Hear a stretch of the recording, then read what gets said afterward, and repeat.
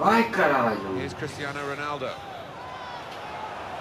Well, they look promising there in that wide area, but the defender's done well.